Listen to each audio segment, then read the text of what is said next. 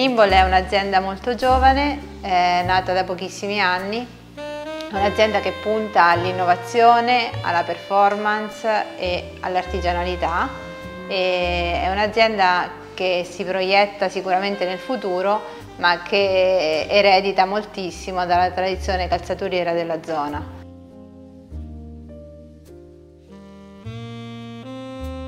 È un marchio 100% made in Italy, nel senso che tutti i processi della produzione vengono fatti eh, qui da noi a Porto Sant'Elpidio in Italia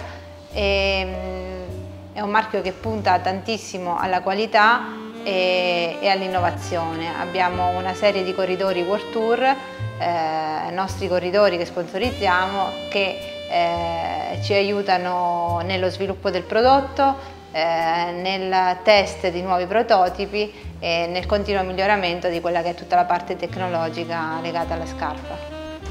La scarpa su misura è un tipo di scarpa che noi facciamo direttamente sullo stampo del piede del corridore, quindi è una scarpa che segue perfettamente eh, tutte le, mh, mm, le, imperfezioni o le esigenze eh, che un atleta professionista o anche un semplice amatore può avere. È un altissimo valore aggiunto perché permette di avere una suola che aderisce al 100% con, con il piede e quindi in grado di trasferire al massimo ogni singolo centimetro di potenza sul pedale e di avere un, una comodità che una scarpa standard assolutamente non, non può avere.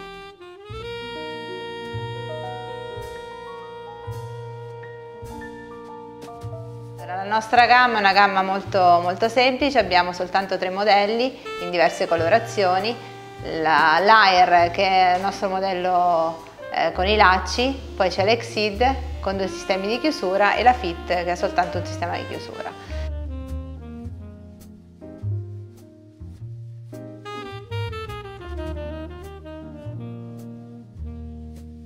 Recentemente abbiamo sviluppato insieme ad un grande campione come Greg Van Avermaet un modello, eh, l'Ultimate,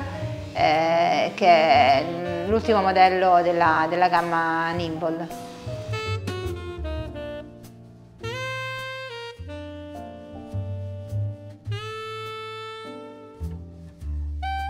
Se penso al futuro, le cose principali che mi vengono in mente a breve termine, stiamo sviluppando una nuova scarpa che è quella da gravel, dedicata soltanto eh, al mondo gravel, gli appassionati, sarà la scarpa gravel più leggera del mercato e infine, ma non ultimo, eh, l'investimento continuo che abbiamo nel, nella struttura, nelle nuove tecnologie e nei vari processi di produzione.